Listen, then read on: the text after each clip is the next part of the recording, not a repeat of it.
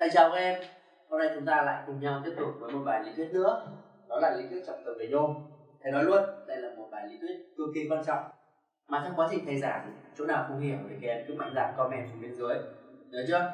Hôm nay thầy cũng sẽ tổng hợp theo dạng slide để tiết kiệm những thời gian học lý thuyết cho các em. Và thầy sẽ giảng tương đối kỹ với cái dạng bài tập với cái dạng lý thuyết về nhôm này để các em không bị nhầm lẫn. Chúng ta bắt đầu nhé à, thứ nhất chúng ta sẽ cùng nhau tìm hiểu về tính chất vật lý. Tính chất vật lý thì nhôm là một kim loại nhẹ có d bằng 2,7 trong cái bài đại cương kim loại chúng ta thì kim loại nặng là kim loại có tỷ khối lớn hơn năm còn kim loại nhẹ là kim loại có tỷ khối nhỏ hơn năm. Màu trắng bạc có ánh kim và nóng chảy ở 660 độ C. Thì nhôm là cái kim loại mà chúng ta gặp rất nhiều trong cuộc sống của chúng ta đúng không à, rất nhiều thứ là bằng nhôm. À, cửa nhôm này đúng không hoặc là các bạn có thể dùng à, nhôm để làm nhẫn đi tặng bạn gái cũng được nhé rất là rẻ đúng không? Tiết kiệm chi phí. Nhôm có tính dẫn điện và dẫn điện tốt chắc chắn rồi. Ứng dụng của nó trong trong cuộc sống của chúng ta để làm dây dẫn điện.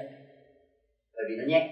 Chứ nếu mà chúng ta mà làm dây dẫn điện bằng đồng hoặc là bằng vàng thì thôi thầy ờ, cũng bỏ nghề giáo viên ờ, đi làm nghề đạo trích thôi các em ạ nhôm có tính dẻo nên có thể cán mỏng được đúng không?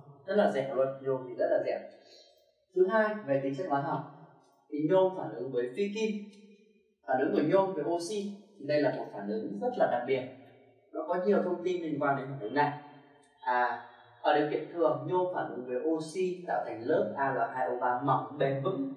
Lớp oxit này bảo vệ đồ vật bằng nhôm, không cho nhôm tác dụng với oxy trong không khí và nước. Nó mỏng thôi nhưng mà nó cực kỳ bền vững. Em hiểu không? Cho nên là nếu mà không có Al2O3 bảo vệ cho nhôm, thì có lẽ rằng cái cửa sổ của chúng ta, một thời gian nào đó, nó cũng sẽ tan đi, chảy đi. Hiểu chưa nào?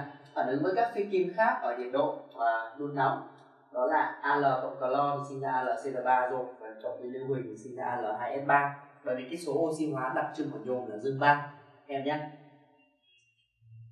Thứ hai là tác dụng với nước vật bằng nhôm không tác dụng với nước kể cả khi đun nóng thì có lớp màng Al2O3 không cho nước thấm qua. Nếu mà phá bỏ Al2O3 thì nhôm nó tác dụng với nước một cách bình thường. Đó là điều thầy nói là nếu mà không có Al2O3 bảo vệ thì một cơn mưa thôi kính cửa nhôm của chúng ta nó sẽ tan thành nước. À. đó, thì là nhôm cộng với nước thì sinh ra AlOH ba lần cộng với H2 để em lưu ý nhé. Ấn số 3 là nhôm phản ứng với dung dịch axit nhôm phản ứng với dung dịch HCl và H2E4 loãng và thành muối nhôm và giải phóng hydro chắc chắn rồi, đây là những phương trình quá quen thuộc của chúng ta. Nhôm phản ứng với đặc nóng thì sinh ra các sản phẩm khử. Nhưng đặc biệt chú ý là nhôm không tác dụng với H2SO4 đặc nguội và HNO3 đặc nguội. Các em phải lưu ý cái chỗ này của thầy, bởi vì đi thi hoặc một số bài tập, nếu mà nó có chữ HNO3 hoặc H2SO4 đặc nguội thì nhôm sẽ không phản ứng. Được chưa? Thứ tư nhôm phản ứng với dung dịch muối. Nhôm phản ứng với dung dịch muối của kim loại kém hoạt động hơn. Rồi, đây là kim loại mạnh, đẩy kim loại yếu ra khỏi dung dịch muối.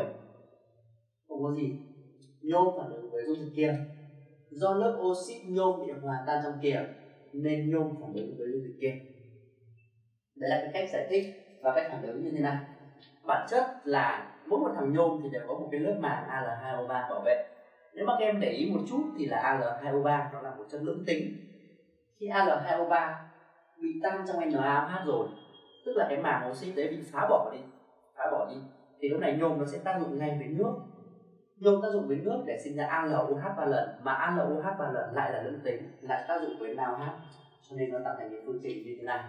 Em hiểu chưa? Đấy là bản chất của cái phản ứng nhôm tác dụng với NaOH điều này cho thấy là nhôm không phải là chất lưỡng tính.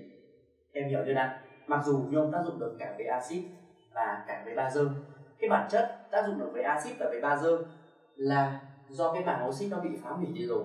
Em hiểu không nào? Đó. Thứ sáu là tác dụng với một số oxit kim loại ở nhiệt độ cao, hay còn gọi là phản ứng nhiệt nhôm.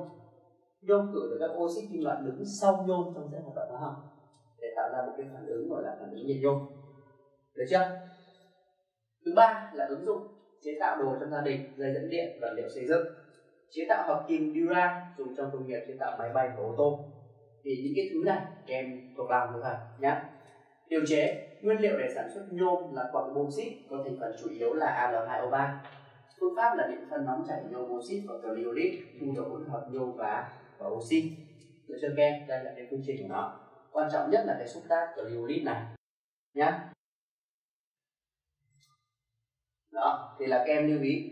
Thì đấy là toàn bộ những cái kiến thức trọng tâm liên quan đến phần nhôm mà thầy đã trình bày xong cho các em. À, thầy hẹn các em vào một buổi lý thuyết bài tập tiếp theo. Xin chào và hẹn gặp lại.